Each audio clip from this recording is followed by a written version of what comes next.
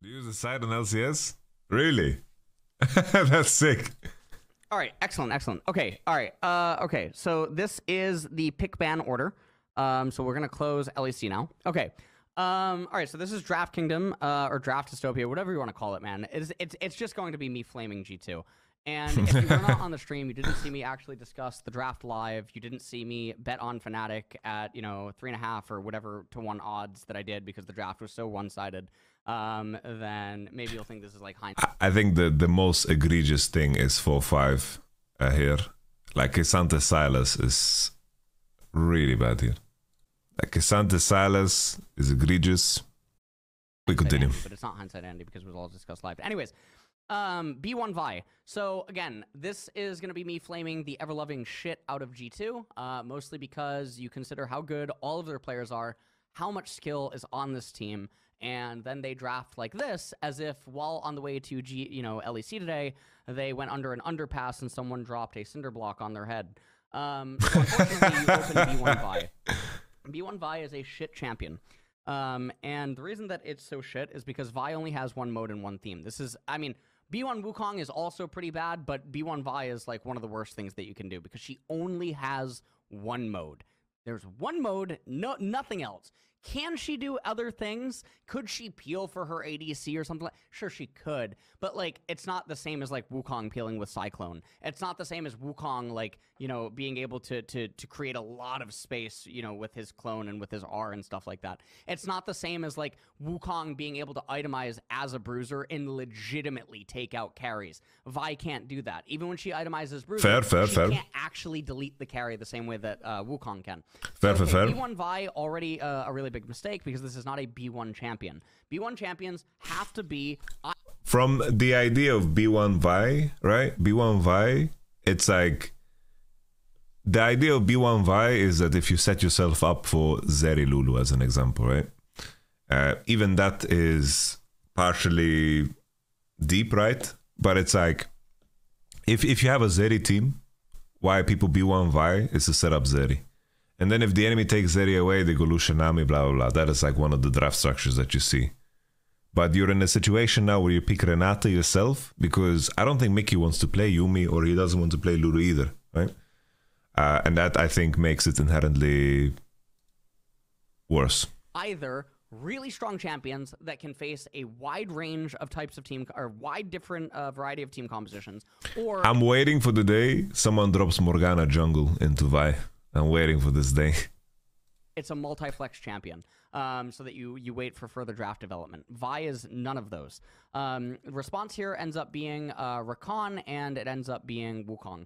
Now Xayah is also banned away. Now I don't like either of these two picks by Fnatic because I think that these two dra- these two picks, yes, they can both be kind of mid-rangey champions. Wukong still has the option to be disengagey. Rakan has the option to follow up on engage that Wukong might actually go on. Yeah, G2 shouldn't play Zeri. I, like could end up I, I I agree wholeheartedly with the idea that that G2 shouldn't play Zeri, one hundred percent. Like Mickey doesn't want to play Lulu. He didn't want to play Yuumi. Like and Hans sama on Zeri, it doesn't seem to be like real to me, you know. powering the enemy draft. But in general, there's no, there's not enough of a consistent theme development right here um, for me to to like something like this. Um, personally, like yeah, I, I think like people, everyone and their mother has forgotten about Morgana. Um, I think that like Oh. you know early rotating like Morgana would just be a lot more valuable and stuff and letting, Oh. letting the draft develop. Um, you know, early rotating. like, Hey, Morgana and based Morgana enjoyer. or Jinx or something like that, right? Um, would just be a lot better because you know uh, that Vi accompanying any sort of poke comp is just not going to be. Uh, Here as well, I, I think you can hold the Renata and you can just pick Gragas. Like just pick Gragas here. And Gragas is so strong into Rakan Wukong. You go Gragas Zeri, you drop support. You have 50 answers into Rakan, by the way, and you can adjust depending on comp. Gragas open, Niski, yes, man. Gragas open. very good pairing, um, and that would be the thing that like Jinx is weakest to. Other types of things that you could do is like Senna com- uh, Senna variations, right? Um, you can you can you can wait for developments like that. Um, you could take like Udyr in the jungle would just be a lot better um, because it's going to be a lot Fucking live, you want the reaction. um, and it plays against everything that Vi can do. It just literally does it better. Yo, Niski, can you explain this Pisky uh, meme to me? What, what does Pisky mean? Um, I think things like that are, are going to be a lot better. the anyway, maneuver. um, so going going forward, I have no clue. Zeri Okay. and Renata, I don't know why that's so thick. Zeri Renata end up getting locked in on B2 B3. Now I just don't like Renata, honestly. I understand why people play Renata into Rakan, but I think that you are so limited in what you do here on Renata uh, when you when you slam Renata. I, I think that if they pick Gragas here and drop support, I think that they would have been a lot more flexible. I think Via Gragas together is quite strong, and I think Gragas is so good into uh, Wukong and Rakan. Now, So- and the Renata gets locked in before there's enough known information. And also, like, Lulu is so- so much better. is actually coming in too early. Renata Yeah, is agreed. a response to really crush a team composition because her pheromones are really, really, really strong versus particular Her pheromones. When those team compositions don't exist, Please tell me that the, the Renata ult is called pheromones because it's, a weird thing to call them. I mean, let, let me see. I need to. I need to know. Her pheromones. Damn. Damn. Yes, hostile takeover is the name of the ult. Her pheromones. LS. Damn. He's selling perfume or some shit. Then you need to have a lot of incentive on the bailout to act as an anti-assassination tool. But there's no development in Fnatic's draft. There's no assassin stuff known French yet. Twitter. Okay. And there's no way of knowing whether or not her pheromones or her R, whatever. I mean, I joke, I call it pheromones. No Okay, way of knowing okay. pheromones are going to have value yet. You're not pinching anything. You're not preventing anything. You're not pinching anything. Why is Renata coming out? Thank you, blind? Aetism. Why is she just coming out early? Doesn't make any sense. Now, Fnatic Agreed, find a agreed. very old pick, but a very good pick in the Sivir here. This is a champion that can resist the Renata Glasc, very good against the Vi, because again, Vi can't delete her even if Vi goes Bruiser the same way that Wukong can. Sivir can kite back, and Sivir outscales the Zeri. And then Sivir, because of the utility that she provides with their ultimate, plays against Zeri's like ranges to to to you know have the ultimate and be able to go over walls. and, Sivir you know, is uh, good here. I agree. So Sivir right now, really, really, really good. I would say at this stage, I think though Sivir is good pick here, but there is some counterplay, right? You can play the, the smite and you can uh, latch on to Sivir, and I, I think that that Zeri versus Sivir in terms of scaling is not like black and white. I think the biggest issue for Zeri is that fa- the fact that she doesn't scale so well with LDR, but it's not really relevant in this game. stage of the draft, Fnatic for the most part have it in the bag. Um, I, I, I would say this is already like 80-20 in, in, in this kind of an opening. I think it's very, very, very Fnatic favored with the way that you're going to play out the remainder of the draft. So now the follow-up bans end up being Asol, and there also is a Taliyah. Now, I think that you could actually take Asol as Fnatic in a situation like this, but maybe they don't want that much scaling on their team. I think if if you want like I think Ace ban is good because in a situation I think on on on 4 here you want to end up on Azir but I think that uh, picking Asol your for yourself just gives the enemy team angles. I like I wouldn't want to play pick Asol 4 here and play into Cassio Vi. I think that's like just too hard. Doesn't matter that you scale better or do better in the game. I think picking Asol is just too hard. I think the fact that it's like looking at this, banning Olaf and banning LB isn't completely crazy, right? Into your one, two, three, these are champions that can definitely do fine and well, right? But that's the issue, is that you want to ban Azir because Azir, you have the same issue against Azir, really, really the same issue. It's like Olaf is good into your one, two, three, and if your blind pick is supposed to be K'Sante, then yeah, you should you should fucking uh, remove Olaf. But but you are in trouble already. You are in big trouble already. Because because this Renata pick is just GG. I think it's just GG. Th- th- There's there's no coming back from that. Team composition, but I think that they could take Asol on R4. The question is, is does Humanoid actually play Asol? Now, Yes, he does. You can take Asol here is, again, there's not enough reliable lockdown on Fnatic for him, and Miss Glasc is also not super great. I- I um, disagree with being able to pick Asol on four here. There would need to be more information known. With the Sivir there already, and the fact that they're winning out on support and jungle in regards to how the two team comps are going to play against each other, I think Asol is a fine pick. I think um, banning but Asol is good. They end up doing is they do a zero on It's like R4. Asol on blue side is definitely better than Asol on, on on red because you want to fourth pick fourth pick mid. You don't want to let the enemy get an Azir. But you can't pick Asol yourself, but you can pick Asol into your your your pick on four. So I think Asol ban is good. Four. Now, Azir and Sivir is a pretty iconic uh, pairing. Um, also, Azir, another champion that is actually somewhat good against, uh, you know, Ren- Renata Glasc, um, because he has the Shurima Shuffle, uh, or not the Shurima Shuffle. He has the, the he has the Shurima Wall, right? Um, so with the current champions that Fnatic or G2 have right now, this is not easy access. Another cool thing about Azir's interaction against Renata is that even if you get taunted, you don't hit with soldiers. Like the, even if you get hit by Renata's ult, which should be uh, to any of these champions. These three champions on B1 through B3, they have no reliable way to reach the opponents. Renata does not. Uh, if if you only look at it from one, two, three versus uh, f- four, le- that's like it's so hard to solve solve here on four five. Like you need to be able to blind pick GP here, and um, uh, like it's it's it's terrible. A high enough value with her ultimate because a lot of these champions are not actually touching each other um, you know at the very start of the fight. They might conjoin with one another once the fight actually commences but that, by that point i mean miss glasc is not actually doing what you would want her to do. The follow-up here ends up being K'Sante and then a Sylas comes in.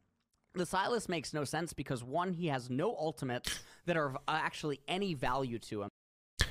Uh, I'd say Rakanut is pretty damn good, but I think playing Sivir, like playing Sylas into Azir, Sivir, Wukong is so fucking hard. I've never ever believed that Sylas is is like good into Azir. I've never believed that. Like you need to be, you need to get carried by your team uh, through your early game and then get ahead, and then Sylas wins everything, right? But isolated one v one, if you play against good Azir, it's very hard and playing against Sivir, like the fact that Sivir can spell shoot one of your abilities already is is uh, really rough. Like you don't have kill threat on her at all, and then Wukong, it just Wukong slams you. It's like Wukong is a champion that has a lot of burst, uh, so that's like Wu- a lot of burst, and the ultimate is not that great, you know. Sylas can play silent with Azir, yeah, but it's just it doesn't matter. Um, he's not going to be able to reliably get any flanks on these champions. The- the There's not good follow-up. the conversion of Sylas, the conversion of Sylas versus Azir is all about what happened in the early game. Uh, yeah, hey, hey, Vedius. Ahri here. Ahri would probably better than be better than Sylas, yeah. K'Sante's weird too. From Sylas on like a Vi engage or anything, the bailout on Sylas doesn't have a whole lot of value either. And now what is the team comp really doing? This is becoming very quickly a one damage threat, which is the Zeri, but the Zeri can't really deal damage because the enemy carries are already threatening to just gun her down. And they scale harder than her. So it's really bizarre. The Sylas ends up just being super random. It's completely out of left field. Um, and, and then the K'Sante comes in blind. Now, in a situation like this, I think that there's actually Yeah, better uh, Caps, of course, is a very good Sylas, but he's not going to do more than what the champion can do, right? He's going to do more than you can do, but he's not going to be able to do more than the champion can do. Than Jax. Um, but uh, obviously, Nar or Oscar and I don't know how to say his ID um, does not probably play like Garen. Garen is much better than Jax in a spot like this because his silence is just absolutely chaotic. He's going to be impervious in team fights. All of these champions will. get Garen is actually good. I You will never agree. be able to run past Garen is really good, yeah. outscale you so hard. I actually agree. It's it's really good. easy laning phase. K'Sante will normally it's it's it's entire terrible game. Garen game. Garen with Sivir just means that you're always dead It is. Of a team It is. Uh, it doesn't matter who he Garen is good. Silence would be so. I'm laughing, but it's really based. into the K'Sante because you have such a stable bot But Jax is good too. Stable mid lane. Jax is Jax is good too. to get to 16, and Jax at 16 in a game like this. With his approach angles, etc., he's going to be way too tanky. No one's going to be able to bring him down. And then because G2 has a one damage threat team composition, I mean, there's just there's not enough. There's not enough that. that Also, like Renata can't do anything against Garen. Sivir and Azir are both such strong. But Jax is good too. Jax is really good too. One if the other is still standing, the you know respectively, each one is still really good against all the members of, of G2. So the the the drafts here are really bizarre. So let's um let, let's go now to B4 B5 um and then let's think about how how can we salvage um this current draft state. So you're We can pick Gragas. Azir, You have bailout on Renata. You know what they pick here? Gragas, GP. That's the only way to make this remotely playable, in my opinion. But it's like blinding GP, like you can just go fuck yourself, you know? It's like there's something is coming for you, breathing down your neck, and you're gonna hate your life. It's like if, if GP is the only, if GP and Jace are the only two champions that can save your draft, then uh, you're in for a hard time most of the time. I still think like here picking Gragas mid is uh, is good, you know. Just go Gragas mid. The only problem you have 30 seconds to decide what to pick. No, yeah, you have the whole split to decide what to pick. so it's uh, like yeah, you, you you prepare your draft. Ori against disengage? No, no, no. You have to pick. You have the big Dragoon. You have to pick Dragoon. I think it's just a Dragoon game, really. Gragas is good into Azir. It's good into everything that is showing. You just pick Dragoon. But the problem is, is that you're sort of running into them, and everything just feels really bad. Just go Dragoon Um, GP You're not going to be able to go like Twisted Fate in a spot like this. Gragas GP. Um, I mean, it really or Corki. Just go Corki. Just go Corki, and that's it. It's fucking Corki or Gragas. Like you need to pick one of these mid. I think. Aurelion Soul is banned. Aurelion Soul definitely would have been um, maybe a really good option. And the other problem that you're having right now is that your top laner has to be blind. Um, so if you're a top laner, to, to be blind here is also definitely very painful. Um, now the thing is, is are, are you really going to try to pivot poke in a situation like this and go Ziggs or something um, against the Azir? I mean, ideally that's what you would want to Bro, do. Bro, Ziggs Ziggs is just Corki with uh, bigger teeth. Let's be B1, honest. uh, through B3 that we have. Uh, if Azir is going to cause these kinds of problems for us. Now, they don't have a lot of reliable CC on the enemy team, but I think Kassadin is too nerfed um, in order to take Kostaden. Kassadin is spot like garbage. So I don't think that Kassadin is really an answer. Um, Anivia, I think in a spot like this, you do just get outranged. You can't really play No, no, game, no. So Anivia is not really an option either um, in a spot like this. I don't think that you can go like Seraphine um, unless like your your top laner is just cracked out of his mind and he's willing to play like something, even if it's a disadvantageous matchup. Um, I don't think that you're going to be able to do something like that. And then Okay. again, because you have Bruiser Seraphine Vi, kinda if based. The jungler was different or the support was Seraphine kinda think based. There would be a lot more options that you would have available. But I think at this point, you just need to actually sin and you need to play with the bailout and the VIR. Um, that's the only thing that I can think of. So I think that you have to go unironically um, Akali uh, probably in this situation, and then what do you actually end up going in top lane? So you have to go Akali, um, I think, in this spot. And then in addition to Akali, you need something else that can sort of part the veil and uh, make an engage. You might have to actually just like blind Kled um, or something because you, you you you have to at least be on theme. Being on theme is probably the best chance that G2 actually has at winning the game. Trying to do any sort of pivots um, won't make any sense, but at least your champions, in addition to being on theme, they have to make sense against the enemy champions, right? I think I think I I kind of like the pivoting idea a little bit more here, just because it's like if if you if you pivot four five into the champs that are looking to outrange, I think that Renata actually inherently gets a lot more value. Um, and then I think that Vi can just hold her spells, you know, and just ult the Wukong when he goes, or ult the Raka when he goes, and you can play it like that, you know. So now you need another top laner that's going to end up being blind. Alternatively, what you could do is you could maybe try to go like Corki. Yes! Um, you could maybe try to play like Corki, and then you could try to, you know, blind GP and be willing to fall back. we reached the same. Um, There we go. We reached the same conclusion. then again, why do we now have Renata and why do we have Vi? um, this would allow you to potentially win the game. There we go. You're basically now completely shifting your, your build around, which was originally Zeri, and you're now making it Corki and GP. And I don't like uh, the idea of doing something like that. So it, it's not something that I would personally um, suggest or, or you know recommend uh, G2 to do in a spot like this. Um, trying to think what I don't mind they it. could actually do um, in mid lane. I mean, if they have the Akali, um, I mean, there, I mean, there is that. Uh, they can't move Vi to top lane. You can't do any like Ivern Rengar type shenanigans or anything like that. Um, yeah, I mean, I think I think realistically, it's probably like Akali Kled, and then just uh, you have to just play like that, and then That is- that is I mean, sin. top lane, see, they're gonna end up choosing a tank, and you're gonna have the No, problem. they're not gonna pick a tank, bro. They're gonna pick. Uh, they're gonna pick Jax or Fiora, and they will make this Kled hate his life. like, not picking a tank team, here. You're We're not have picking a tank here. situation. No, this Kled will not survive early game. like, blind pick you could Kleds. try to go Veigar here. uh, with a tank in top lane, it is still going to be a little bit awkward. Yeah, Veigar's fine. That's the more controlly aspect. So either you do the Akali Kled or you end up doing Veigar X. Okay, okay. I, don't- I don't like the, the Akali Kled angle. I think uh, I like. Corki I like. Going that. Uh, Gragas, Corki. Gragas, Corki, Veigar was mid peak. And and then you had to like pick GP or Renekton. Uh, like, I think that's the only way. That's the only way, guys.